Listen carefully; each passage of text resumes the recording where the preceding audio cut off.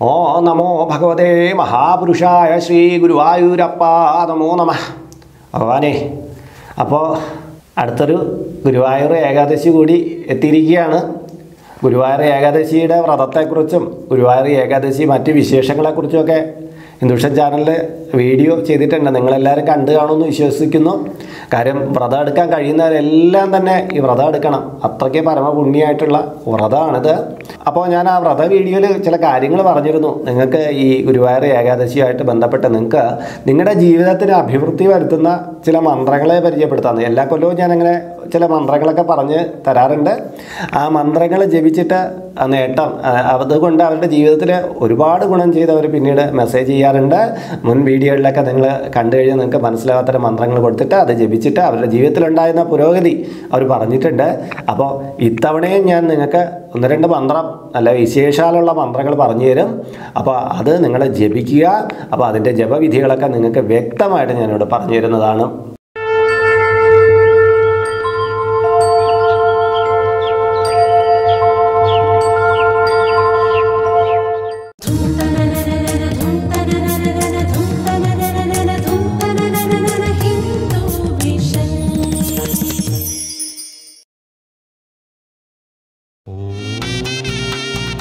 Hindu mission ചാനലിലേക്ക് സ്വാഗതം.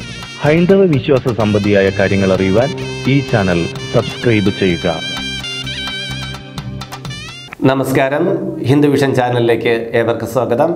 ഞാൻ ഹരിചന്ദന മഠം ആർ ജെ അയ്യർ. ഹൈന്ദവ ആചാര സംബന്ധമായ കുറേയേറെ കാര്യങ്ങളാണല്ലോ നാം ഈ ചാനലിലൂടെ ചർച്ച ചെയ്തു പോരുന്നത്. ഇന്ന് ഗുരുവായൂർ ഏകാദശിയുമായിട്ട് ബന്ധപ്പെട്ട വീഡിയോ ആണ് അപ്പോൾ ഗുരുവായൂർ ഏകാദശിക്ക് നമുക്ക് ജപിക്കാവുന്ന മന്ത്രങ്ങളെക്കുറിച്ചാണ് പറയുന്നത്. അപ്പോൾ ഗുരുവായൂർ ഏകാദശി വരുന്നത് മൂന്നും നാലും തീയതിയാണല്ലോ ഡിസംബർ മാസം രണ്ടായിരത്തി ഇരുപത്തിരണ്ടിൽ അപ്പോൾ ഈ മൂന്നും നാലും തീയതികളിൽ നമുക്ക് ജപിക്കാവുന്ന മന്ത്രം. അപ്പോൾ നമുക്ക് ഏകാദശി മുതലേ തന്നെ ഈ മന്ത്രം ജപിക്കാം. അപ്പോൾ ഏകാദശിക്ക് ജപിക്കേണ്ടുന്ന എന്ന് പറഞ്ഞാൽ വെളുത്ത വസ്ത്രം ധരിച്ച് രാവിലെയും വൈകുന്നേരവും നമുക്ക് ഈ മന്ത്രം ജപിക്കുകയാണ്. ഏറെ ഉത്തമം. നിങ്ങൾക്ക് ക്ഷേത്രത്തിൽ പോയിരുന്ന് ജപിക്കാം. മുന്നിലെ നിലവിളക്ക് നീട്ട് തെളിയിച്ച് വെച്ച് നിങ്ങൾക്ക് അങ്ങനെ ജപിക്കാം. നെയ്യിടാൻ പറ്റിയില്ലെങ്കിൽ നമുക്ക് എള്ളെണ്ണ ഒഴിച്ച് നിലവിളക്ക് തെളിയിച്ച് അതിന് മുന്നിലിരുന്ന് ജപിക്കാം. ഭഗവാൻ കാരുണ്യമൂർത്തി മഹാവിഷ്ണുവിന്റെ കൃഷ്ണന്റെയൊക്കെ ഒരു ചിത്രം വച്ചിട്ട് നമുക്ക് അതിന് മുന്നിലിരുന്ന് ജപിക്കാം. അപ്പോൾ ജപപുണ്യം അത്രത്തോളം വരണമെങ്കിൽ നമ്മുടെ ഭക്തി തന്നെ വേണം. കിഴക്കോട്ട് നോക്കിയിരുന്ന് ജപിക്കാം. ക്ഷേത്രത്തിൽ പോയിരുന്ന ജപിക്കുന്നവർക്ക് അപ്രകാരം വീട്ടിലിരുന്ന് വേണമെങ്കിൽ ഇത് ജപിക്കാം. അപ്പോൾ ഞാൻ ഇന്ന് പറഞ്ഞു തരാൻ പോകുന്ന മന്ത്രം നൂറ്റിയെട്ട് തവണയെങ്കിലും കുറഞ്ഞ പക്ഷം ജപിക്കണം. രാവിലെയും വൈകുന്നേരവും നൂറ്റിയെട്ട് എന്നുള്ള രീതിയിൽ ജപിക്കണം. അപ്പോൾ ഏകാദശി ദിവസം തന്നെ ജപിച്ചു തുടങ്ങണം. ഇനിയിപ്പോൾ ഈ വീഡിയോ കാണുന്നത് നിങ്ങൾ അടുത്ത മാസമോ മറ്റൊക്കെ ആണെങ്കിലും നിങ്ങൾ എപ്പോഴാണ് കാണുന്നതെങ്കിൽ നിങ്ങൾക്ക് ആ ഏകാദശി മുതൽ ഇത് ജപിച്ചു തുടങ്ങാം. പക്ഷേ ഒരു കൊല്ലം നമ്മളിങ്ങനെ ജപിക്കണം. സ്വർഗവാതിൽ ഏകാദശി ഗുരുവായൂർ ഏകാദശി ദിവസങ്ങളിൽ ജപിക്കുമ്പോൾ ഇത് ആയിരം മടങ്ങ് പുണ്യം കൂടുതൽ കിട്ടും. അതുകൊണ്ട് ഈ ദിവസങ്ങളിൽ കൂടുതൽ പ്രാധാന്യമുണ്ട് എന്നും കൂടെ പറയുന്നത് വ്യാഴാഴ്ച ദിവസങ്ങളിൽ നിങ്ങൾക്ക് ഇത് ജപിക്കാം. എല്ലാ ദിവസവും വേണമെങ്കിൽ നമുക്കിത് ജപിക്കാം.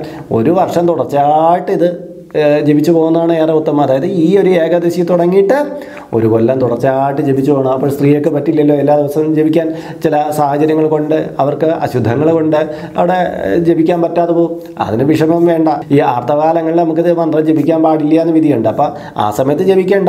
അത് കഴിഞ്ഞിട്ട് തുടർച്ചയായിട്ട് ജപിച്ചോളൂ. നിങ്ങൾക്ക് അങ്ങനെ ഒരു ആ കാലയളവിൽ ജപിക്കേണ്ട. അതിനുള്ള പുണ്യം ഭഗവാൻ തന്നോളും. നിങ്ങൾക്ക് അങ്ങനെ ഒരു പ്രാധാന്യമുണ്ട്. ഇനി പുരുഷന്മാർ തന്നെ ജപിക്കുമ്പോൾ അവർക്ക് ചില മുടക്കങ്ങളും തടസ്സങ്ങളൊക്കെ ചിലപ്പോൾ വന്നേക്കാം. അപ്പോൾ തുടർച്ചയായിട്ട് ഏഴ് ദിവസം മുടങ്ങിക്കഴിഞ്ഞാൽ ഇതിന്റെ ആ പുണ്യം അങ്ങ് കുറഞ്ഞു പോകും. പക്ഷേ തുടർച്ചയായിട്ട് ഏഴ് ദിവസം മുടങ്ങാണ്ട് ഒന്നോ രണ്ടോ ദിവസം മുടങ്ങി എന്ന് പറഞ്ഞ് വിഷമിക്കേണ്ട. നമുക്കത് കണ്ടിന്യൂ ചെയ്യാവുന്നതേ ഉള്ളൂ. യാതൊരു കുഴപ്പമില്ല അപ്പോൾ മന്ത്രം ഏതാണെന്ന് പറയാം. നമ്മുടെ നിത്യജീവിതത്തിലെ ഏറ്റവും പുരോഗതി വരുത്തുന്ന കടം ദാരിദ്ര്യം രോഗങ്ങൾ അങ്ങനെയൊക്കെ പല ജീവിത പ്രശ്നങ്ങൾ കൊണ്ട് വഴിമുട്ടി നിൽക്കുന്നവർക്ക് കുടുംബജീവിതത്തിലെ കലഹം അങ്ങനെയൊക്കെയുള്ള ഒരുപാട് പ്രശ്നങ്ങൾ നമുക്ക് എല്ലാ പ്രശ്നങ്ങൾക്കുള്ള പ്രതിവിധി എന്നുള്ള രീതിയിൽ ജപിക്കാവുന്നൊരു മന്ത്രമാണ് അപ്പോൾ ഈ മന്ത്രം ജപിച്ച് തുടങ്ങിയതിന് ശേഷം നിങ്ങൾ അടുത്ത കൊല്ലം വരെ അടുത്ത ഏകാദശി വരെ ഇത് ജപിക്കണം. ഏകാദശിക്ക് അതിന് ശേഷം കണ്ടിന്യൂ ചെയ്യാം. അത് കുഴപ്പമില്ല. എങ്കിലും ഒരു വർഷമെങ്കിലും തയ്ക്കണം. അപ്പോൾ അതുവരെ ജപിക്കുന്ന ഈ മന്ത്രം കൊണ്ട് നിങ്ങൾക്കുണ്ടായ പുരോഗതികൾ നിങ്ങൾക്കുണ്ടായ മാറ്റങ്ങളെല്ലാം ഇതിന്റെ കീഴെ കമന്റ് ബോക്സിൽ ഇപ്പോഴേ നിങ്ങൾ ജപിച്ചു തുടങ്ങിയിട്ട് വേണമെങ്കിൽ ആറ് മാസം കഴിഞ്ഞ് എഴുതിയിടാം അല്ലെങ്കിൽ ഒരു വർഷം കഴിഞ്ഞ് എഴുതിയിടാം അല്ലെങ്കിൽ മൂന്ന് മാസത്തിനുള്ളിൽ എഴുതിയിടാം കാര്യസാധ്യം നേടിയവർക്ക് അങ്ങനെ എഴുതിയിടാം. നിങ്ങളുടെ താല്പര്യം പോലെ ചെയ്യുക. എന്തായാലും ഞാൻ മന്ത്രം നിങ്ങൾക്ക് പരിചയപ്പെടുത്തി തരാം അപ്പോൾ ഒരു ഗുരുപദേശത്തോടു കൂടിയാണ് ഈ മന്ത്രം ജപിക്കേണ്ടതുണ്ട് എന്നുള്ളത് നമ്മൾ അറിയേണ്ടതാണ്. അപ്പോൾ ഗുരുപദേശം എങ്ങനെ വരണം? അത് നിങ്ങൾക്ക് വേണമെങ്കിൽ ഈ മന്ത്രം മറ്റൊരു ഗുരുവിനെ പറഞ്ഞു കൊടുത്ത് ഇതെനിക്ക് ഉപദേശിച്ച് തരണമെന്ന് പറഞ്ഞിട്ട് നിങ്ങൾക്ക് പറഞ്ഞു കൊടുത്ത് അദ്ദേഹത്തിന്റെ ഒന്ന് ഉപദേശം സ്വീകരിക്കാം. ഇല്ലെങ്കിൽ എന്നെ തന്നെ ഗുരുവായിട്ട് സങ്കല്പിച്ചിട്ട് നിങ്ങൾക്ക് ഇത് ജപിച്ചു തുടങ്ങാം. മന്ത്രം ഇപ്രകാരമാണ്. ഇത് ചന്തോബദ്ധമല്ലാത്ത മന്ത്രമാണ് അപ്പോൾ അത് ജപിച്ചു തുടങ്ങുക കേട്ടോ. ഓം ക്ലീം ഗോപാലമൂർത്തയേ നവനീതപ്രിയായ നവരത്നം കൃതായ ചന്ദ്രശേഖരായ ക്ലീം ശ്രീം നമോ നമ എന്നാണ് മന്ത്രം. എളുപ്പമല്ലേ മന്ത്രം? ഇത് ഡെയിലി നൂറ്റിയെട്ട് ഏഹ്, എന്നുള്ള രീതിയിൽ ജപിക്കും. ഭഗവാനെ ജപിച്ചു തുടങ്ങുന്ന ദിവസം ഏകാദശി ദിവസം ഒരു മഞ്ഞപ്പട്ട് കൊണ്ട് സമർപ്പിച്ച് ഒരു ഹാരവും കൂടി അവിടെ സമർപ്പിച്ചതിന് ശേഷം ജപിച്ചു തുടങ്ങാമെങ്കിൽ പരമപുണ്യമാണ് കേട്ടോ. അപ്പോൾ ജപിച്ചു തുടങ്ങുന്ന ദിവസം ഒരു നിവേദ്യം അവിടെ ക്ഷേത്രത്തേക്ക് കഴിപ്പിക്കാൻ പറ്റുക അല്ലെങ്കിൽ ഒരാൾക്ക് ഒരു ദാനം എന്തെങ്കിലും വസ്ത്രമോ ദക്ഷിണയോ ദാനം ചെയ്യാൻ പറ്റുകയൊക്കെ പരമപുണ്യമാണ്. അതൊന്നും നമ്മൾ പറഞ്ഞു തരേണ്ട ആവശ്യമില്ല. മന്ത്രം ജപിച്ചു തുടങ്ങുമ്പോൾ അങ്ങനെയൊക്കെ ചെയ്തിട്ട് ഈ മന്ത്രം ജപിച്ചു തുടങ്ങുന്ന ഏറെ പുണ്യമാണ്. അപ്പോൾ നമ്മുടെ ജീവിതത്തിലുണ്ടാകുന്ന മാറ്റങ്ങൾ പതിയെ പതിയായിരിക്കും. ഭഗവാൻ ചെറിയ പരീക്ഷണങ്ങളൊക്കെ നൽകിയിട്ട് നമുക്ക് എല്ലാം നൽകാറുള്ളൂ അല്ലേ?